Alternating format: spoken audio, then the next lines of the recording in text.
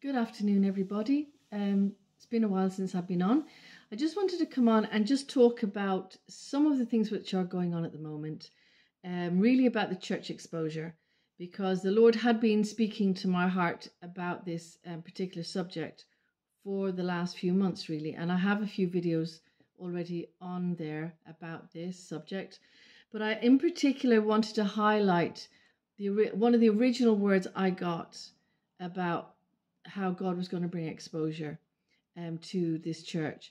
I, I already have spoken about how I knew the Lord showed me and spoke to me very clearly and told me this pseudo church culture is finished, it's over.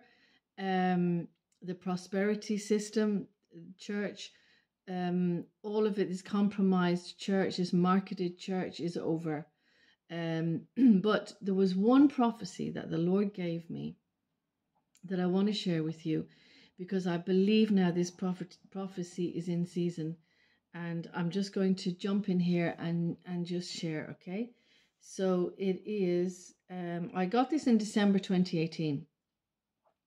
So I'm going to, I'm just going to, um, um, I'm just going to pick part of it because the full prophecy is on another video, which I'll give you reference in a, in a moment, okay? The world has been destroyed because of sin and is drawing unto itself the judgments of God. The secret sins are being judged too. For you never sought me, you never inquired of me, says the Lord, but you allowed wickedness to go unchecked. While the church slept, sorcerers and witches prospered in their magic arts, and you yourself fell captive to bondage when you should have been inquiring of me.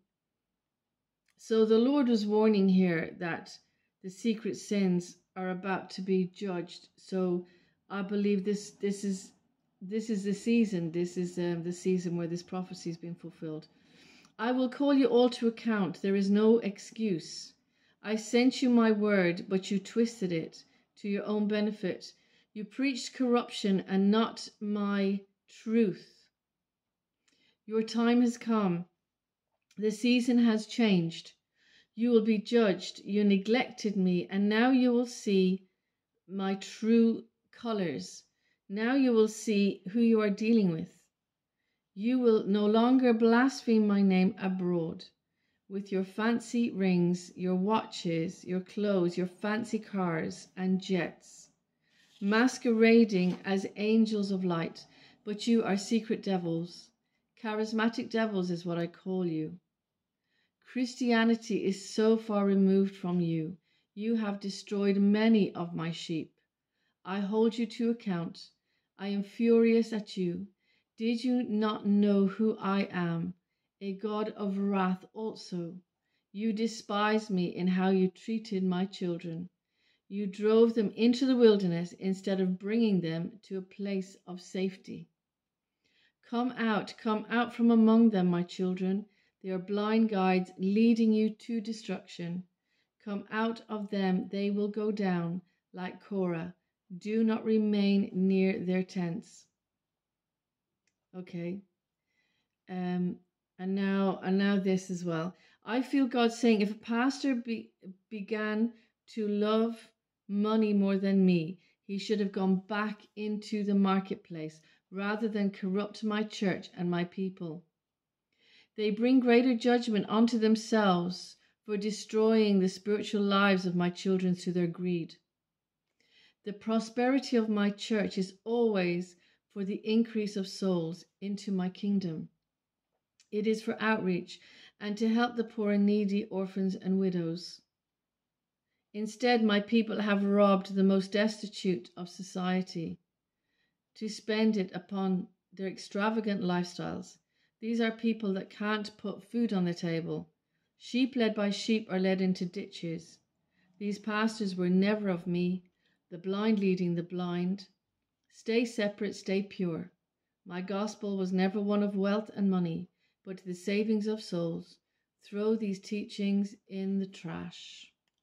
So that was the message I got. And I remember when I got that message, I really struggled with actually putting that message up um, I'll tell you what it is actually. I'll just give you the original message I posted on January 16th, 2018. Oh no, it was 2019 I posted it and it was called Prosperity Gospel. Okay, it's got like a, a gold car on the front of the video. Uh, but when I received this, I was re- I really thought it was harsh. I thought, whoa, that is really harsh. I don't know if I can put that up on my channel. I kind of struggled with it, and I think I struggled with it because, you know, I used to listen to Jesse Duplantis. I used to listen to um, Kenneth Copeland, Kenneth Hagin, um, Joyce Meyer, and more. And so I, you know, so I, I was thinking, whoa, this is a very harsh message. But when I got this message, I really, it changed my whole heart around, and I really pulled away from all the prosperity gospel because it it frightened me. The fear of the Lord came on me through this, you know. And I also want to say that I was reading a video um, called David Wilkerson Calls Out the False Prophet. Um, this is worth watching. It's um, it's by 3N1 channel. So it's 3N for November 1 as in the figure channel. And that's the name that's the name of it there. David Wilkerson calls out the false prophet. That video um, David Wilk- Wilkerson released I it was probably probably 12 years ago or more. I can't it I doesn't have the exact date when it was delivered. But it really confirms this message that I got from the Lord. And he was such a, a prophet from God. I really truly believe that about David Wilkerson. So I just wanted to give you the background on this, right? I believe this is a pro that's a prophetic word in season right now because some of the prophecies that God gives me you know um, it's not in season at the time and then the season it comes into season. And even though it was given to me in 2018 i believe that's the season now. I also want to give you a word that i also received last, last yesterday while we were praying. And um, i when i was praying i really felt the the lord te- telling me that my my tears flow down over my church that my church is flayed and broken. Is flaying, sorry, it's flaying and it's broken. And the Lord says that I will not leave my church in this condition. I will heal her breach. The Lord says, I will heal her breach. That was the word that the Lord gave me. And, you know, the Lord um, speaks to prophets because he wants to, he's not just speaking to condemn, He's speaking to give understanding. He's speaking to give understanding. And I think this is really important to understand that God has given a long rope. He gives a long rope. Like this, this, this gospel movement has been going for many, it's been going for over a decade, possibly nearly two decades at this point. And, um, you know, there comes a time where the Lord says, okay, enough's enough now. This is the time I'm to do something here. I believe this is the time. I believe this is the time God's judging this pseudo Christianity. We need to get back to the Word of God. We need to get back to understanding the full counsel of God, not just this happy clappy Christianity. And this is the problem with the church.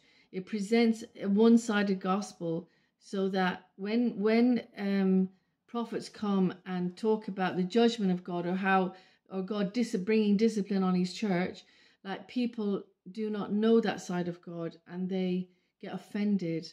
They get offended and they turn against the prophets and they turn against sometimes even the church. But the Lord disciplines his church. He's going to he's going to prune he's going to prune her. He's going to prune all the bad wood off of her. And you know, like I know that revelations have come out about TD Jakes and about TB Joshua in particular the TB Joshua, I found this prophecy that this prophecy that I got was very relevant because it says that um where is it? Because of the the weakness of the church. Let me see now. Um okay, it says the secret sins are being judged too, for you never sought me.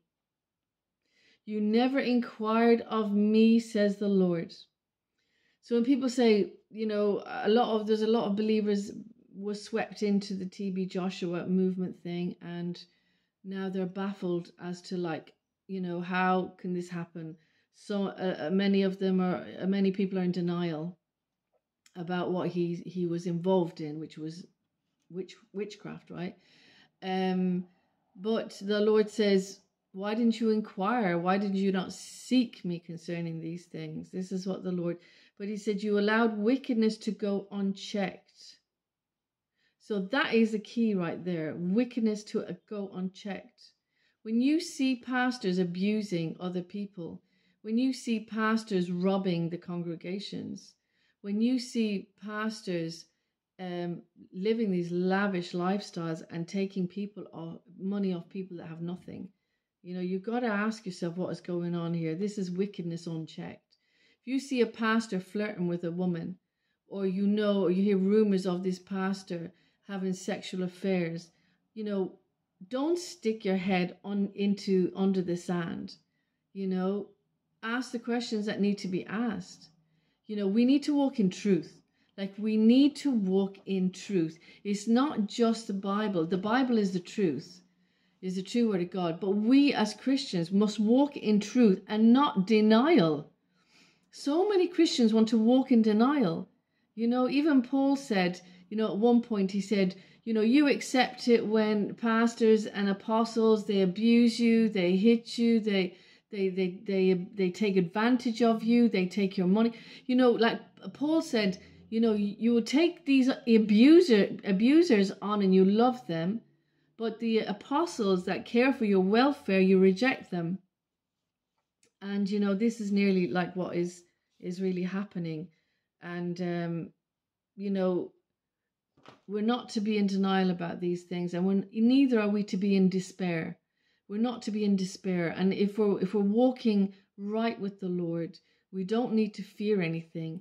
But if we are in sin, and if we are hiding sin, and if we're putting on on a mask on the front, but we're living in an alternate lifestyle on on the on the on the backside, we need to come before the Lord and ask for forgiveness and ask for His mercy and ask for for Him to change us from the inside out. What is in the inside of us must come on the outside of us. We're to be, you know, we are to be truthful, utterly truthful. Um, in the Psalm, in Psalm 51, if you look at it, it's a repentant psalm, and it said that God desires truth in the inward parts, in the inward, in the hidden parts. God desires truth. He doesn't expect you as a Christian to just blindly accept everything a pastor does. A pastor is supposed to represent who Jesus Christ is. And if it doesn't reflect or mirror the actions and the lifestyle and the fruit of Jesus Christ, then you've got to ask yourself the hard questions. Is this man walking truly after the Spirit of the Lord? What spirit is he operating in? Signs and wonders come from the devil as well. You know, Satan operates in witchcraft. And I'm not saying every spiritual thing, every deliverance and all that is from the devil. It's not, because the Lord does do deliverance. The deliverance happens in the church also.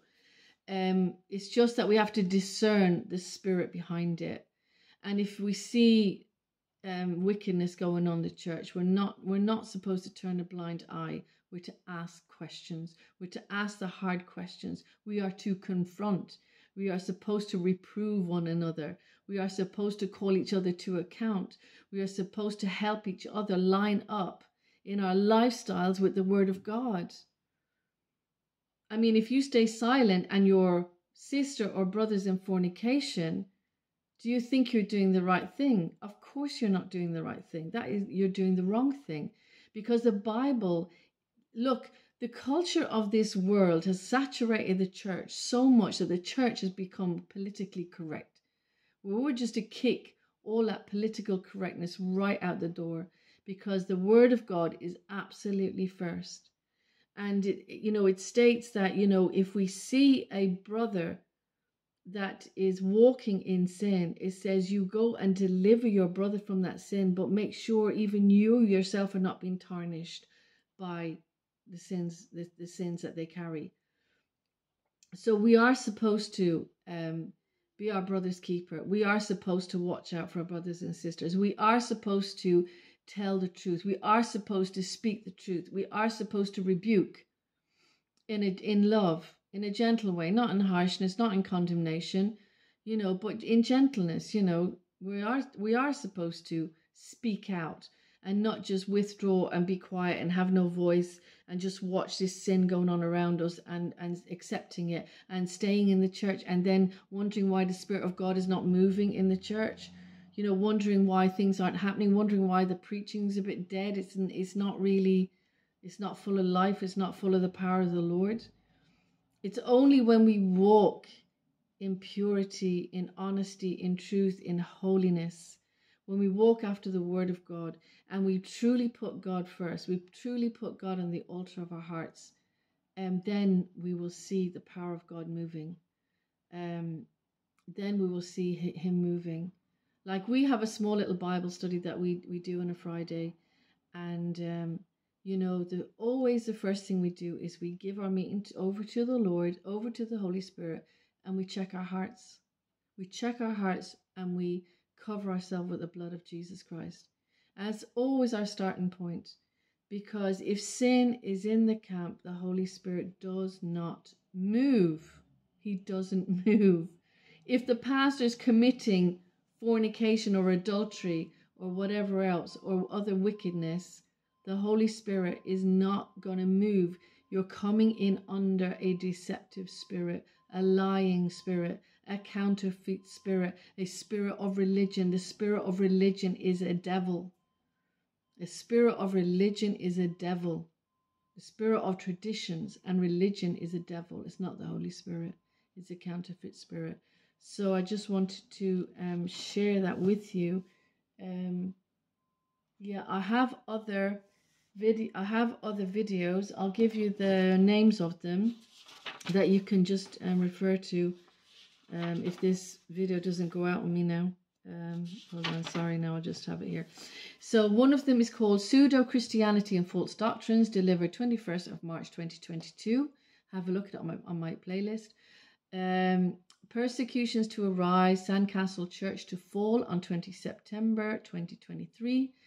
And the Superstar Christianity is over August 1st, 2023.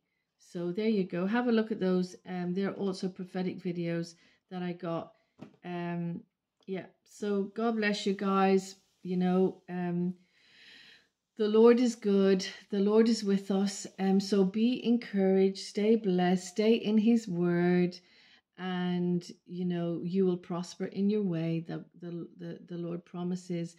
Um and the kind of prosperity that we truly as believers want is spiritual prosperity. We want to have a wonderful living alive relationship with God and have His grace flowing in our lives, you know, have His love moving in our hearts and showing mercy and grace and forgiveness to those who come against us.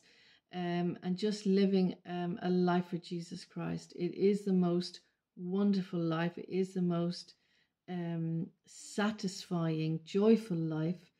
Um, you know, like there's there's there's nothing to compare with living for the Lord. But it's hard. It's a hard one. It's hard. It's it's not easy in this culture in this generation, but God gives us His grace.